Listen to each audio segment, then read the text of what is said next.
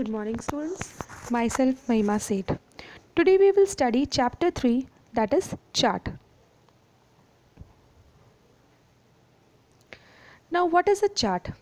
A chart is a visual display of information in a worksheet, or you can, in a very simple language, say that a chart is a pictorial representation of the data represented in a tabular form. Anything which we can see in a diagram- diagrammatical form that is a chart which contains data.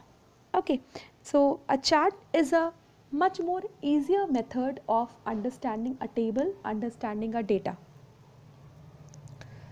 Next is advantages of chart. Easier to identify trends, easier to identify relationship. Chart is linked to the data so that changes to the data are shown immediately in the chart.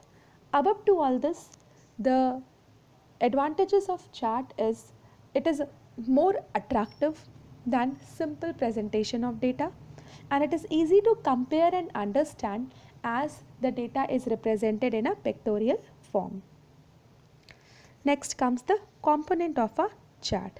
Now the component of a chart as you can see in this picture a chart is divided uh, a chart contains various components that is data series, x-axis, y-axis, chart title, chart area, plot area, legends, grid lines, etc. Now it is my humble request to all students that while you are studying this video, just open your book, open chapter 3 and keep the book open with you so that it will be easy for you to understand this chapter. The first component is data series. Data series means the data on which the chart is has the chart has to be formed. The chart is to be based. That is data series.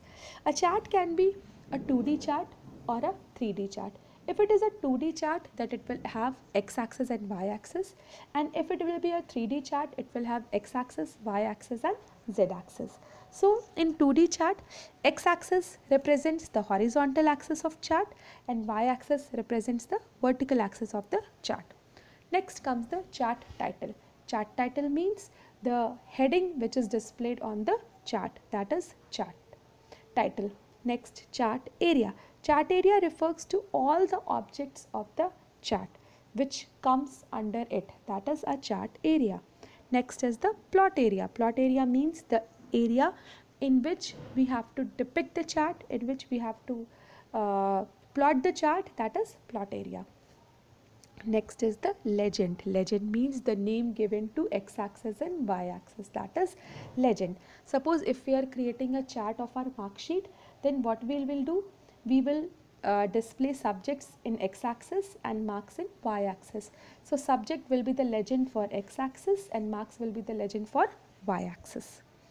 Next is the grid lines. Now grid lines means the whole plotting area of the chart is divided into equal parts. That is what the grid line is. Next is the type of chart. Now the type chart can be a column chart a bar chart a pie chart a donut chart line chart area chart radar chart bubble chart and the various types of charts. Now these charts are nothing but the different form of representing the chart. Uh, different types of table require different forms of chart. So while designing chart we have to select the best type of chart suitable for the table. First is the column chart. Now column chart is nothing but a chart which is uh, represented in a with the rectangular box on x-axis that is a column chart. In column chart the rectangular boxes is represented in a Uh, in a vertical manner. Next comes the line chart. In line chart means we have to show the up and down of data in the form of a line that is a line chart. Next is the pie chart. A pie chart is something which is represented in a circular manner and which is usually displayed to show the parts of or you can say the division of that plot area. That for example this particular chart shows a land which is divided into many parts according to the percentage with each fruit. Like peach contains 10% grapes contain 27% orange contain 13% pineapple contain 20% banana contain 30% so this is all the pie chart is. Next is the bar chart a bar chart is similar like column chart but the only difference is that in this the rectangular boxes are depicted in a horizontal manner. Next is the area chart. Now area chart means a chart which is represented depicting the area. Now area chart uh, shows the trend of values over the time or category. It emphasizes the difference between several sets of data over a period of time. So it is the different period of time is shown with different colors. Next is the XY scatter chart.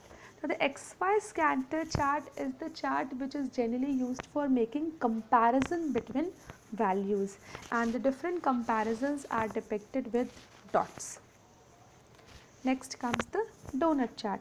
Now donut chart is uh, represented in a form of a donut in a form of a two concentric concentric circles and the area which is inside that two concentric circles are uh, are uh, used to represent the data.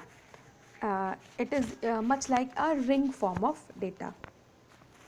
Next comes the radar chart. Radar chart means the chart is represented in a form of chart is represented in a form of a spider web so it is a radar chart.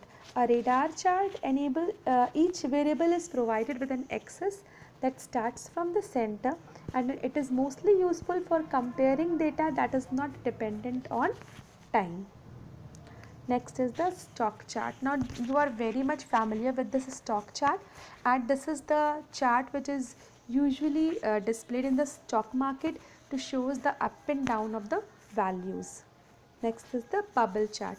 A bubble chart is same like XY scatter chart but the difference is that in this the values are displayed in the form of a bubble. Uh, different color bubbles depicts different types of values. Okay students, so this is all for today. Thank you.